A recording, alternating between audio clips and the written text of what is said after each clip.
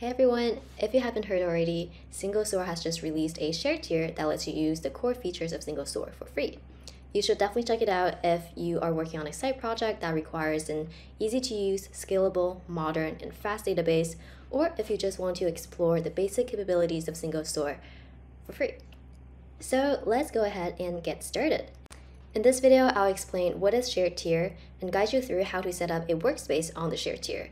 I'll walk you through how to ingest data from your first dataset, as well as performing a few queries, and we'll examine together just how performant the shared tier actually is. So the first step, if you haven't already done so, is to sign up for a SingleStore account, which is completely free on singlestore.com slash cloud trial. So once you signed up and are signed in, you will be taken to a homepage that look like this, where you can find some helpful resources and guides to help you get started. For now though, um, I will show you how to create a workspace.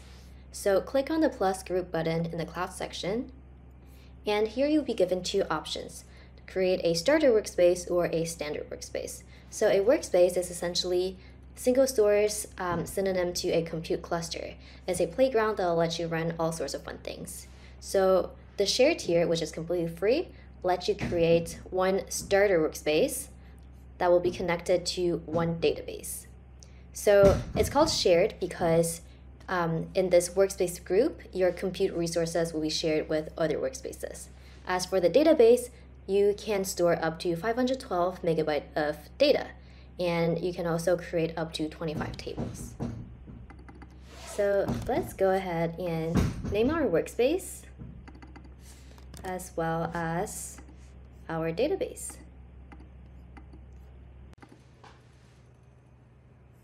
Great.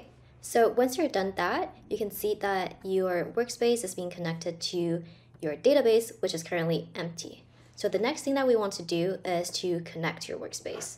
There are different ways to uh, that you can connect, either via CLI client, SQL IDE, your application, or you can also connect your workspace to different BI tools like Tableau, Power BI. For today though, I'll just show you a SingleStore's built-in SQL editor. This is essentially a playground that lets you run and write queries in SQL. So the first thing that we want to do is to create some tables. Here I have a table called employee because I want to use this dataset with employee compensation information. So in SingleStore, when you create a table, under the hood, we'll spin up a table with a universal storage table type. This is a patented table type that SingleStore developed, which lets you do both transactional and analytical workload super fast. You can also add different indexes and keys to optimize your query. So here I've added a hash index, a shard key, as well as a sort key. So let's go ahead and run this. And the shortcut for running command is command return or control return for Windows. Great. Now let's verify the table creation uh, with the show tables command. Cool. So now that we've got our employee table, it's time to load some data in. There are, there are different ways of ingesting data into SingleStore, but the feature that I want to highlight today is our built-in pipelines. So SingleStore Pipelines is a great tool that lets you ingest data into SingleStore extremely fast. And as a built-in feature of the database, SingleStore pipelines can extract, transform, and load this data without the need for third-party tools. It has native connection to uh, cloud storage like S3, uh, Google Cloud, and Azure Blob. It also has connections to uh, MongoDB, MySQL, Kafka, and Hadoop. So because my employee compensation dataset is stored in an S3 bucket, this will be the syntax for creating a pipeline. And you can ignore this message because the shared tier is completely free. So um, essentially what I'm doing here is just pointing SingleStore to this S3 bucket uh, URL and let's and loading it into my employee table.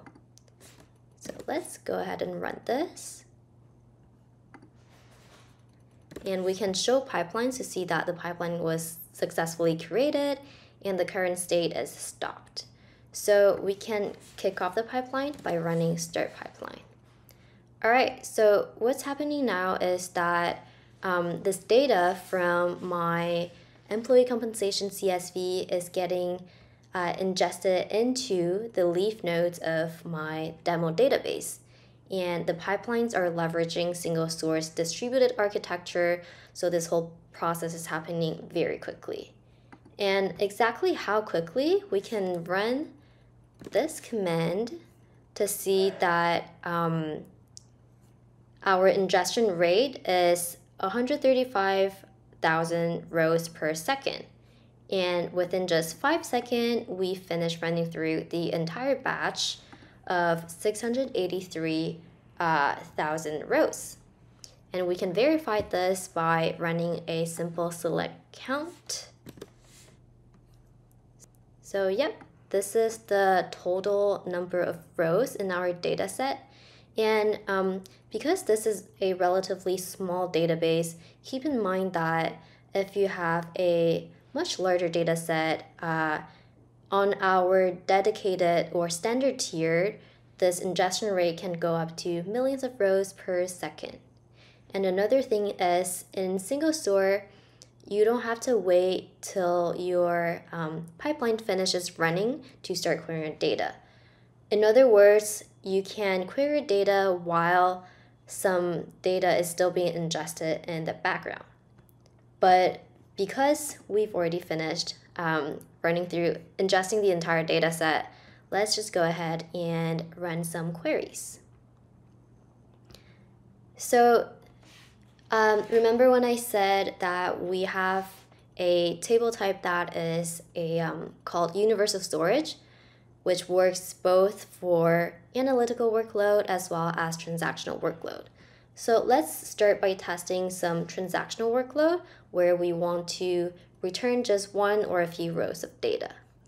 So starting off with a single select statement, um, we want to know the job that this employee had that paid this amount of total salary. All right, so we got the result back in 200 millisecond, um, which is pretty fast. It's just a fun fact. It is less time than the average time it takes for you to blink your eyes.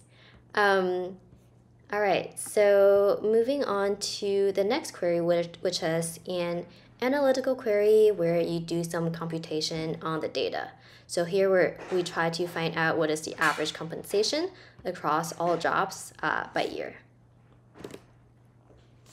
So in under 200 millisecond, um, we're getting the results back.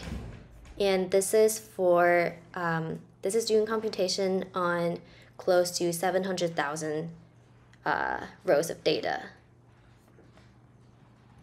And I just want to show you that if you try running this query a, another time, you are getting back the results in um, less than half of the time. And this is because SingleStore compiles um, the query to machine code upon the first time that it executes and caches the compiled plan so that for subsequent queries, um, subsequent executions of the same query, it can just utilizes that plan instead of computing again. Um, and that is why every time you, you run it after the first execution, it'll be significantly faster. All right, let's run another analytical query, um, maybe this time to find out what is the most employed job each year. And again, we're getting the result back in under 200 milliseconds. And if we want to try with a more complex query that involves a um, CTE common table expression, uh, as well as a uh, ranking fun sorry a window function, um, we can see that we're still getting back the result in under 200 millisecond. So hopefully this goes to show you that even with the free shared tier, SingleStore is still very performant um, with both analytical and transactional workload. So feel free to go ahead and try the shared tier for yourself.